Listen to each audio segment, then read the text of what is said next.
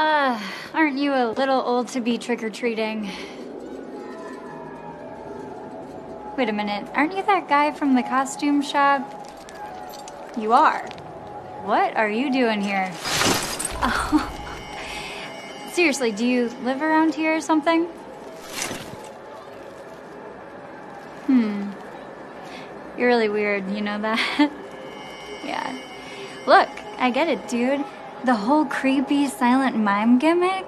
I mean, it's very effective, and the blood is a nice touch, also. Yeah. I can't give you anything. No, I'm sorry. Really, no no candy for grown-ups. Come on.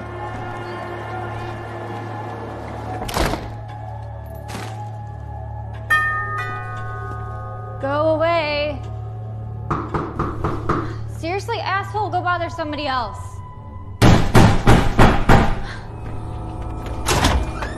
You kidding me right now? I said get out of here. I mean it.